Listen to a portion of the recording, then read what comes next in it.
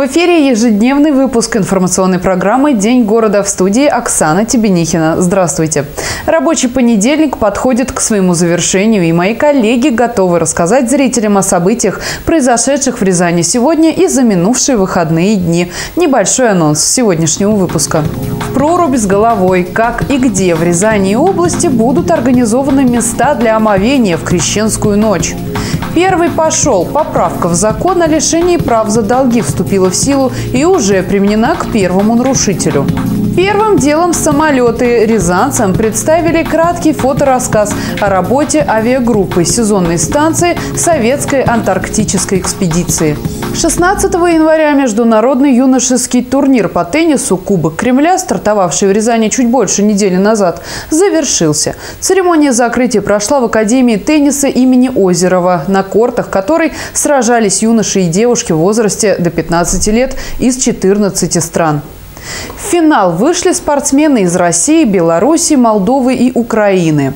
На подведение итогов турнира прибыл вице-президент Федерации тенниса России Владимир Лазарев. Вместе с губернатором Рязанской области Олегом Ковалевым он вручил победителям и призерам заветные кубки. Больше всего наград оказалось у представителей России. Наши девушки заняли первые и вторые места в одиночном и парном разрядах, а вот юноши оказались послабее. В их активе только два серебра. Теннисисты, выступающие из Рязанской области Елизавета Муравьева, Игорь Бойко, Анастасия Яковлева и Динара Алаярова выбыли из турнира еще до финала. Последней была Алаярова. Ее и наградили памятным подарком в специальной номинации «Лучший рязанский спортсмен».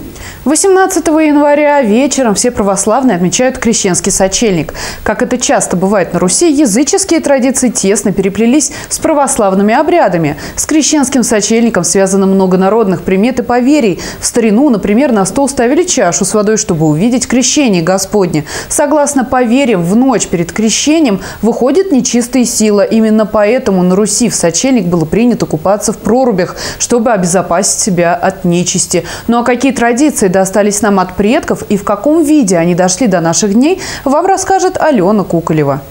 Погружение в прорубь на праздник Крещения Господня – это одна из интереснейших традиций православных христиан. Но в последние годы купание в проруби стало чуть ли не народной забавой. Многие прыгают в ледяную воду на споры ради интереса, и только единицы подходят к этому вопросу осмысленно. Руководитель клуба зимнего плавания и мож с 25-летним стажем Александр Яшин рассказал об основных правилах погружения в прорубь. Сначала снимаем с обувь, вот, затем в последнюю очередь снимаем э, с себя головной убор. Соответственно, после посещения проруби сначала одеваем головной убор, вот, а потом все остальное. Значит, э, не рекомендую выходить на лед э, босиком. В Рязани оборудована только одна купель на открытом водоеме на озере Ореховое. Рядом с ней поставить отапливаемые палатки с горячим чаем, будут дежурить спасатели и медики. Власти рекомендуют принимать участие в крещенских купаниях только здесь. Купание в других открытых водных объектах на территории города небезопасно. С улицы Свободы, с площади до Орехового озера можно будет добраться с 10 часов вечера на бесплатном троллейбусе. Вот, будет организованы э, две большие э, раздевалки с подогревом, э, естественно, купель. Да, в 23 часа священник проведет молебен, после которого все желающие могут искупаться в проруби. В эти дни синоптики не обещают настоящих крещенских морозов. Ночью в городе похолодает всего до минус 10. Стоит уточнить, что в ночь на 19 января в Рязанской области для проведения крещенских купаний будет организовано 33 официальные купели. Сотрудники Роспотребнадзора проверили качество воды в этих водоемах. Они соответствуют всем нормам. Сменим тему. В пятницу, 15 января, в Рязанском музее путешественников состоялось открытие выставки «Полярная авиация». Рязанцам представили краткий фоторассказ о работе авиагруппы сезонной станции 31-й советской антарктической экспедиции. На фотографиях запечатлены работы геологов, поисково-спасательной операции, эвакуации сотрудников по завершении экспедиции, быт и повседневные хлопоты. В Рязанском музее путешественников открылась довольно интересная фотовыставка члена Ярославского областного отделения Русского географического общества Алексея Гриднева. Рассказывает она о жизни авиагруппы сезонной станции 31-й антарктической экспедиции. На этих фотографиях запечатлены полярники, их авиатехника, морские животные и коренные жители Антарктиды – пингвины. На выставке антарктической экспедиции можно увидеть даже специальное снаряжение путешественников и фототехнику, которые были сделаны снимки. Между Ярославским и э, рязанским отделениями региональными РГО вот, существует договор о дружбе, сотрудничестве, в общем, всяком сотрудничестве. Делегация Рязанского РГО была в Ярославле пару раз во главе с Михаилом Георгиевичем. Ну вот там мы законтачили, вот, и ответным визитом явилась вот это в, в, в рамках, так сказать, реализации планов, явилась вот эта экспозиция. В составе авиагруппы в 1985-1986 году в экспедиции участвовали 18 специалистов, в том числе и рязанцы. Так что это еще одна причина, по которой выставка появилась в нашем музее путешественников. Посетили фотовыставку и ребята из Центра детского творчества «Стрекоза». Все представленные автором работы они оценили по достоинству и тоже мечтают стать путешественниками. Очень красиво, особенно воздушные шары, то, что показали, пингвины очень смешные. В общем, мне все понравилось. Я хочу повидать пингвинов, взять одного домой. Пусть будет в морозилке. И хочу исследовать всякие там э, на вертолете покататься, исследовать всякие вещи. Мне больше всего понравилось там камни больше всего. Они такие красивые, там разноцветные и такие светятся, прям блестят они сильно красиво. Вот. А еще мне очень понравилось вот пингвинчики фото. Такие смешные. И еще мне понравился фильм, где там пингвинчики вот так вот идут, идут, идут. Мне вообще нравится, как они идут. Очень смешно, потому что... Фотовыставка будет работать до 29 февраля. Все желающие могут прийти, посмотреть работы автора и представить себе красоту Антарктиды. В субботу, 16 января, в Рязанской областной библиотеке имени Горького прошла ассамблея «Времена и эпохи». На ставшем уже традиционном мероприятии студия исторического танца «Белый бал» отметила день рождения и подвела итоги работы за год, наградила тех, кто был вместе с ней в году минувшем и представила рассказ о своей деятельности тем, кто еще только мечтает присоединиться к компании танцоров. Всех гостей ждала интересная программа с дефиле новых костюмов, показательными выступлениями выступлениями и танцами. Вот уже на протяжении восьми лет студия «Белый бал» радует, удивляет, поражает рязанцев невероятными мероприятиями, способными погрузить нас в атмосферу ушедших эпох. Это не только балы, но и вот такие домашние встречи, которые еще при Петре Первом были названы ассамблеями. На традиционной ежегодной ассамблее «Белого бала» времена и эпохи, которая прошла в минувшую субботу в библиотеке имени Горького, как обычно, были подведены итоги ушедшего 2015 года. Вспомнили самые яркие события, наградили друзей студии, спели гимн Белого бала и, конечно же, не обошлось без танцев. Ну а самой яркой частью стало дефиле в исторических костюмах, которые на протяжении года создавались руками студийцев. У нас мастер-класс специальный, на которых мы учим держать иголку с ниткой, чтобы можно было себе хоть что-то соорудить на бал. Потому что э, на первое мероприятие, конечно, там мы даем платье безвозмездно, вот, но э, когда человек один раз надел платье, второй раз, он уже хочет в чем-то новом пойти, выбираете э, в чем-то своем, там он, например, говорит, мне вот идет голубой, я хочу только в голубом. И тогда приходится проводить мастер-класс, чтобы девочки сами, раньше все умели шить, сейчас как-то не очень, но раньше все платья были самошиты, то есть все, что мы видим на картинах, люди, у них же не было машинок, ну, так что приходится шить.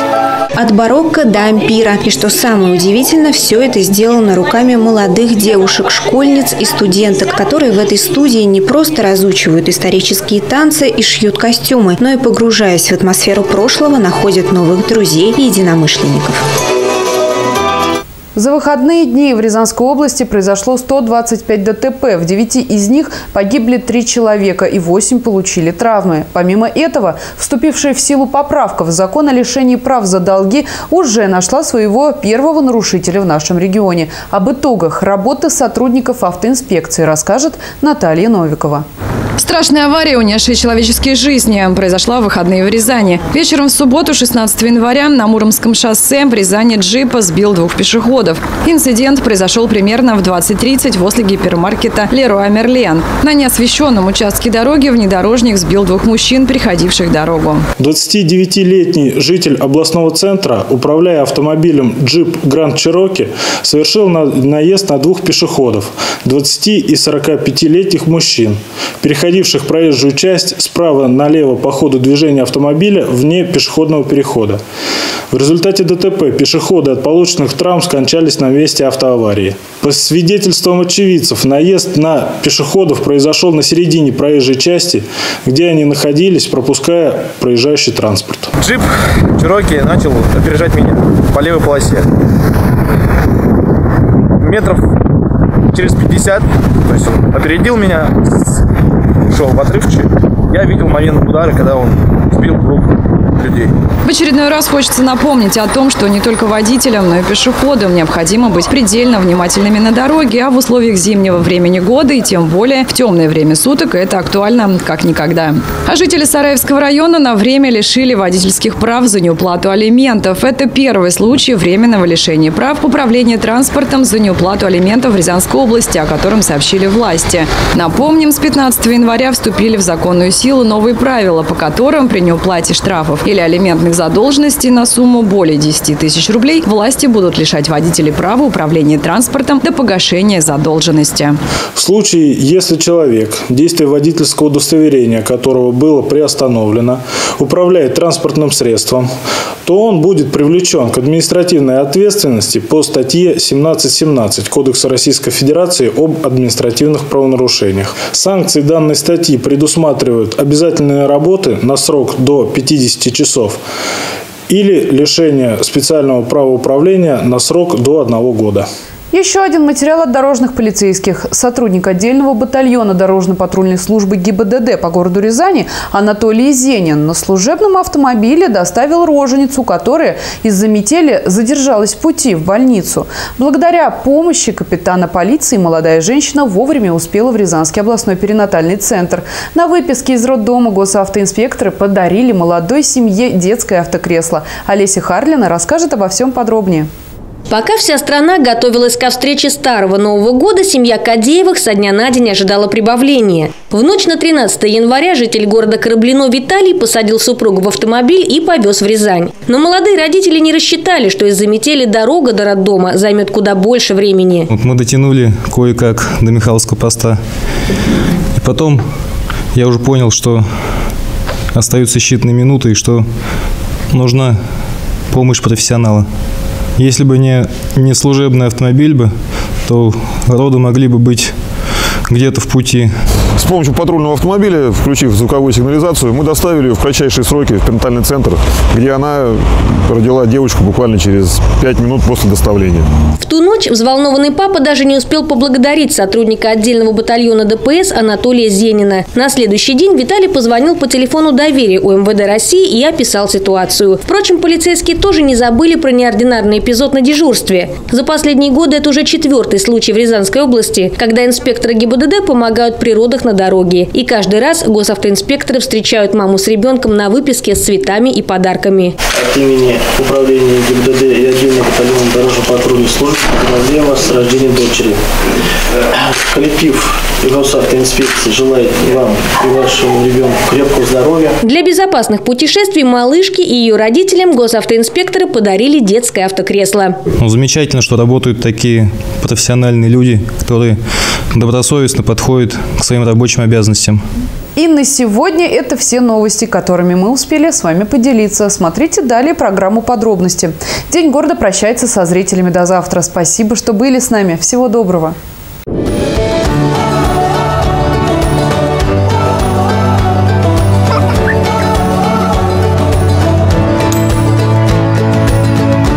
Жилой комплекс «Вива».